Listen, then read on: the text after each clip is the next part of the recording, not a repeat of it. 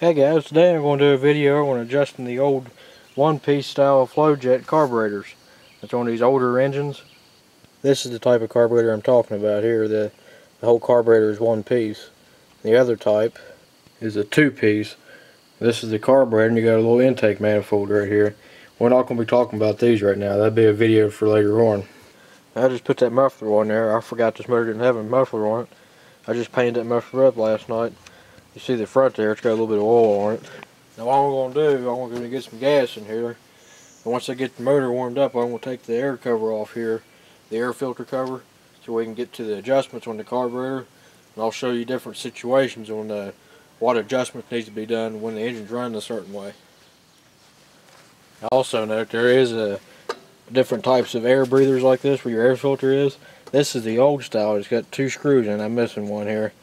You just take these two screws out and the other type will be just like this with just the one screw on it or like that with the two screws on it. I'm just going to go ahead and take the cover off here while the engine's, uh, before I start the engine. This carburetor's a little picky on this engine anyway.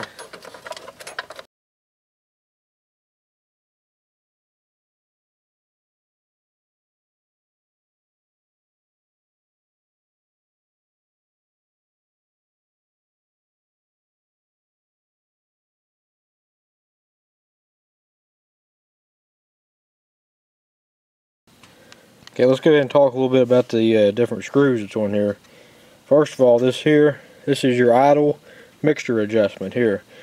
That screw adjusts the fuel air mixture of the idle. And this screw here adjusts your idle speed. You screw it in to get your engine to run faster and you screw it out to slow the idle down. Then the adjustment down here on the bottom, right here, is a uh, is a high side main fuel air mixture adjustment screw.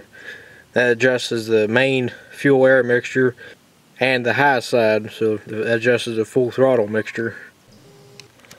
And you all probably noticed the spring here. That's for the choke. I don't have the choke linkage hooked up on this, and without the spring, the choke plate always wants to close. So it's got a little bit of rust down there. This carburetor ain't in the best shape, but it does run pretty good. Now let's get this motor started here. I'm having to jump it off another motor here. Sometimes you can choke an engine like this with your hand if you don't have a choke set up.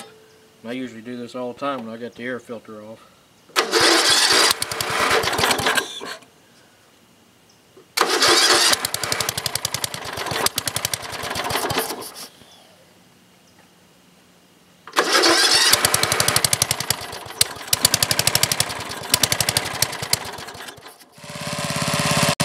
Okay, now it's running pretty good.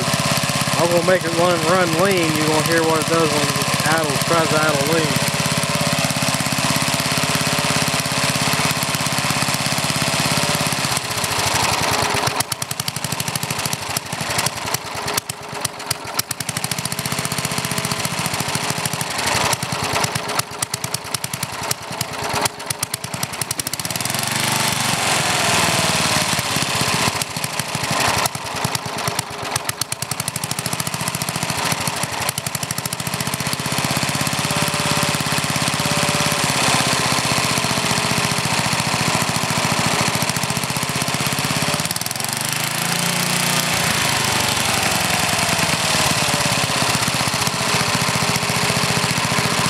See it smoothed out when, it, when I screwed the screw out, which makes it run richer.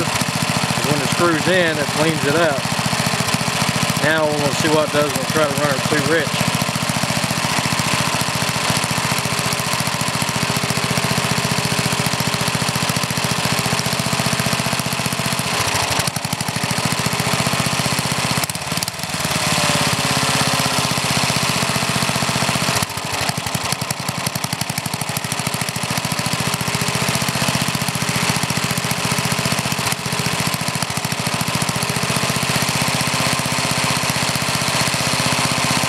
Can't really hear much of a difference when it's running rich. You can smell a richer exhaust. It's burning too much gas. So screw it back in until it smooths out and you're not smelling too much gas so it's not chugging black smoke. Now we're going to see what the high side does.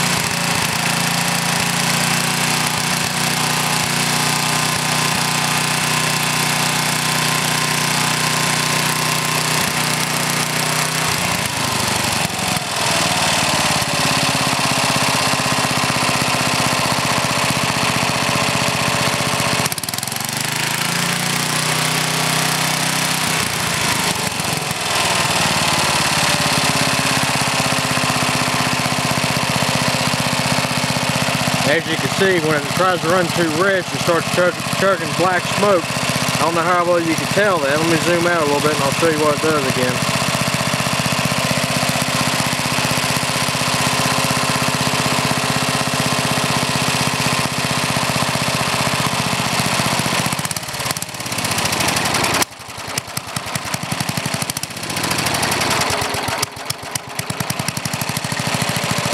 You can see it idles great, but as soon as you give it throttle, it starts chugging black smoke, running too rich, trying to flood out.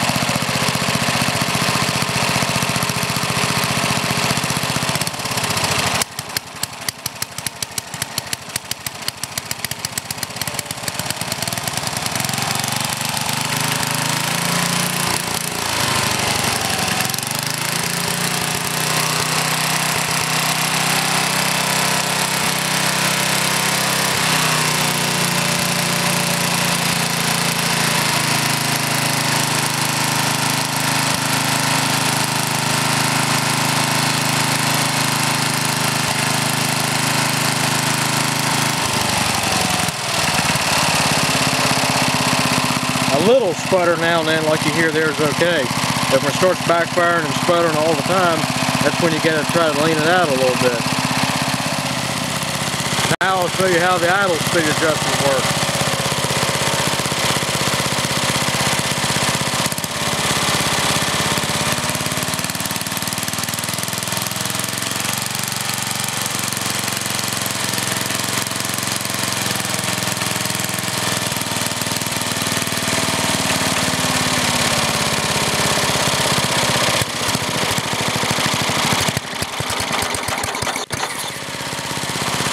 See I bottomed it out and tried to idle too slow inside.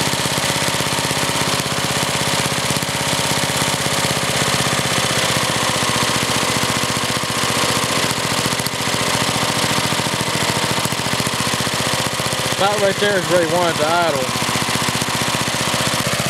Now most Briggs engines, any, just about any small engine, idles at about 1800 RPM. In order to get it adjusted right, you have to get a tachometer attach it to the spark plug wire and the ground. That way it read out, give you a readout just like on a car what RPM the engine's running at. This is just an approximate guess. If you get it running too slow, the oil won't circulate good in the engine. You can cause bearings to start wearing. Now if you get a motor that you're not for sure if it's adjusted right, screw it all the way in until it gets snug. Don't force it and back it out one and a half turns. It's half a turn, one turn, one and a half turns. And the same for, uh, not this, but the same for the bottom screw too. That gets you in the ballpark and you can go from there adjusting it.